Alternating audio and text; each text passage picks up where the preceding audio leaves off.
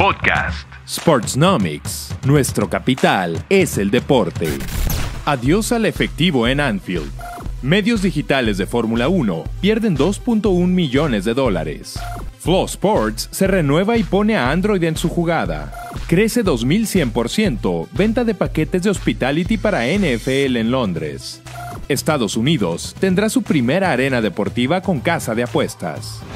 Hola, ¿qué tal? Mi nombre es Miguel Ramos de Sportsnomics. A continuación, haremos un recuento de lo más relevante de la semana en la industria deportiva. Los actuales campeones de la Champions en Europa preparan el estadio de Anfield para el futuro, y ahora las emblemáticas gradas por donde circulan los ecos del You'll Never Walk Alone pretenden conservar a sus aficionados más atentos al partido y menos tiempo haciendo filas. Esto quiere lograrse siguiendo el patrón que varias arenas han comenzado a implementar alrededor del mundo, me refiero a los pagos sin efectivo. Así es, el estadio de los Reds se perfila para unirse al grupo de los cashless, pues tras efectivas pruebas realizadas en conciertos y otros eventos, los aficionados de Liverpool tuvieron su primera experiencia con este tipo de compras en el partido que este sábado disputaron ante Leicester City de la Premier League. Los medios de pago aceptados son tarjetas de crédito o débito, así como teléfonos móviles a través de Apple Pay y Google Pay. Actualmente, son las largas filas durante el medio tiempo las que pretenden irse erradicando, y de manera paulatina seguirá implementándose este sistema, con miras a lograr que en el interior del inmueble no tenga que manejarse nada de efectivo. No todo es color de rosa en el mundo del automovilismo, y pese a un aumento de más del doble en sus ganancias del año 2018, la Fórmula 1 experimentó una pérdida de 2.1 millones de dólares en sus operaciones de medios digitales durante el mismo periodo.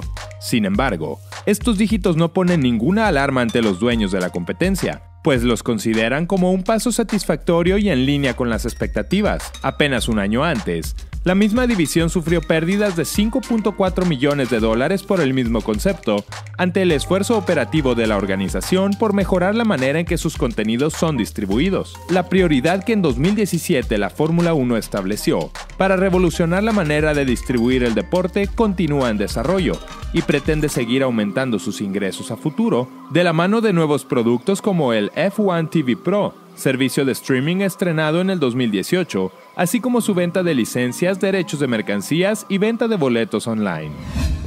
La empresa de streaming estadounidense Flow Sports continúa con buenas noticias para sus suscriptores y aficionados a los deportes, sumándose a la etapa evolutiva de la marca, que recientemente realizó un profundo rebranding en todos sus sitios. El lanzamiento de una nueva app para dispositivos Android expande ahora su servicio a siete plataformas distintas, con una filosofía de hacer llegar los deportes y competencias con menos reflectores en los medios hasta las manos de los aficionados la compañía estableció una estrategia de renovación y expansión tras un año donde su cantidad de suscriptores creció 125%. En mayo, una ronda de inversión puso 47 millones de dólares sobre la mesa para buscar aumentar el portafolio de derechos de streaming. Un mes después, la app de Flow Sports llegó a sistemas como Apple TV, Roku y Fire TV. La agencia Troika Media Group fue la encargada de establecer la completa renovación de imagen de la compañía, orientada a reflejar la pasión y diversidad de las comunidades deportivas que constituyen a Flow Sports. Con más de 10.000 competencias en vivo y 2.000 horas de contenido exclusivo, Flow Sports sigue mostrando su hambre por seguir abarcando más mercado y darle exposición a deportes y eventos que no suelen tener mucha atención mediática. Este domingo se disputó el juego 25 en la historia de la NFL en Londres, un encuentro celebrado desde el nuevo Tottenham Hotspur Stadium, casa del equipo de la Premier League de Inglaterra. Con una asistencia de más de 60.000 aficionados, la apuesta de la liga este año es más ambiciosa, y durante las próximas semanas se disputarán tres juegos más de temporada regular en esta ciudad, una más en el estadio de Tottenham y dos en Wembley. Los números reflejan el éxito comercial en el que la NFL se ha convertido en Londres, desde su primera aventura con un partido celebrado en 2007. La compañía Hospitality Finder proveedora de los paquetes VIP y Hospitality para la NFL en Inglaterra, anunció que sus ventas entre 2012 y 2019 se han disparado 2100%, reflejando la consolidación de este deporte en el país europeo.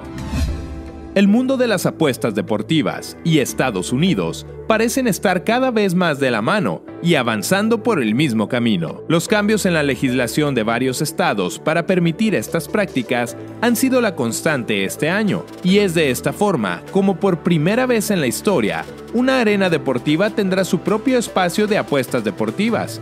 La capital, Washington, D.C., será la primera sede en la historia del país en tomar esta iniciativa, esto gracias al acuerdo firmado entre la empresa Monumental Sports Entertainment y la casa de apuestas William Hill para que la Capital One Arena, casa de los Wizards de la NBA y los Capitals de la NHL, albergue un espacio dedicado a los apostadores. Este sitio abarcará múltiples pisos del inmueble, contará con un servicio independiente de alimentos y bebidas, estará abierto todos los días y durante los juegos brindará diversos accesos para aquellos que cuenten con boleto para el juego o quienes van únicamente a apostar. La ambiciosa idea de la organización pretende convertir este sitio en un lugar clave para las apuestas deportivas en Washington. Incluso se plantea la posibilidad de convertir la Capital One Arena en un área de televisión con 20.000 asientos para aquellos que quieran disfrutar ciertos eventos desde ahí, eso sí, con ganas de apostar unos cuantos dólares. Gracias por sintonizarnos. Te invitamos a seguir nuestras redes sociales y visitar nuestro sitio web. Nos escuchamos en una próxima emisión de nuestro podcast. Podcast Sportsnomics. Nuestro capital es el deporte.